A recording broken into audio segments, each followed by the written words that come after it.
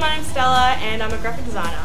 So my work's based on a lot of traditional and a lot of digital work as well, so it's very versatile. I think every artist says this, but ever since I was little I just could not stop drawing anything and everything.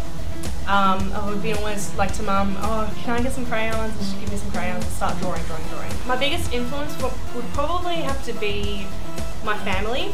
Also, I love um, just meeting people. Just their stories really inspire me. And if I, even if I just walk past like just a random tree or a random crack in the wall, like last week, um, yeah, I got really inspired by that crack, and I, I saw an image there, so I'm actually that's going to be my next piece. But yeah, just um, life in general inspires me, and um, a lot of artists inspire me as well. My work is really driven by my passion towards art and creativity, and just um, if I start something and I really focus on it, I really want to do do it well and and always well, you know.